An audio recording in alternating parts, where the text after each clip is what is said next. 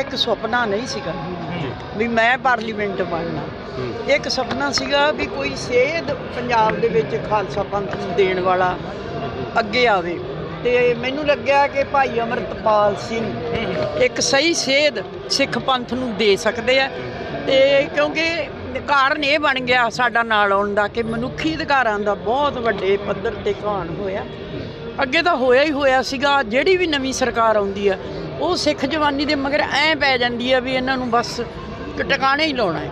ਤੇ ਇਹਨਾਂ ਨੇ ਜਦੋਂ ਦਿਬੜੂਗੜ੍ਹ ਜੇਲ੍ਹ ਦੇ ਵਿੱਚ ਇਹਨਾਂ ਨੂੰ ਸੁੱਟਿਆ ਤੇ ਮੈਂ ਉਦੋਂ ਉਹਨਾਂ ਦਿਨਾਂ 'ਚ ਹੀ ਬਾਹਰੋਂ ਆਈ ਸੀਗੀ ਅਮਰੀਕਾ ਤੋਂ। ਤੇ ਮੈਨੂੰ ਲੱਗਿਆ ਵੀ ਮੈਨੂੰ ਉੱਥੇ ਮੋਰਚੇ 'ਚ ਜਾਣਾ ਚਾਹੀਦਾ ਮੈਂ ਮੋਰਚੇ 'ਚ ਗਈ, ਵਾਤਾਵਰਨ ਵੇਖਿਆ। ਉੱਥੇ ਇਹਨਾਂ ਨੇ ਇੰਨੀ ਬੁਰਸ਼ਾਗਰਦੀ ਕੀਤੀ ਕਿ ਉਹਨਾਂ ਦੇ ਪਰਿਵਾਰਾਂ ਨੂੰ ਵੀ 751 ਲਾ ਕੇ ਜੇਲ੍ਹ ਵਿੱਚ ਸੁੱਟਿਆ।